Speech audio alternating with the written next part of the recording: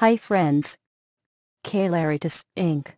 Leadership Challenges in a Fast-Growth Industry In 2011, Celeritas is a leading data communications company in the crowded, highly competitive, and ever-evolving enterprise network optimization market. Having experienced rapid growth since its founding in 2003, Celeritas has recently seen sales decline and has begun to lose market share, along with its status as the top player.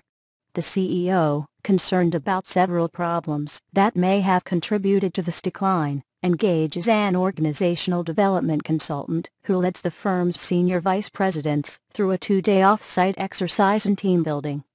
A follow-up meeting with a lower level of management raises questions about the effectiveness of those efforts.